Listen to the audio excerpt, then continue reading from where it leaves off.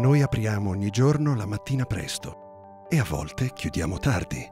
In realtà spesso non chiudiamo proprio, perché sui nostri traghetti c'è sempre molto da fare, perché abbiamo 630.000 auto da imbarcare, 1.300.000 caffè da preparare, 540.000 cabine da rifare. Ma soprattutto abbiamo 1.600.000 di voi da portare in vacanza.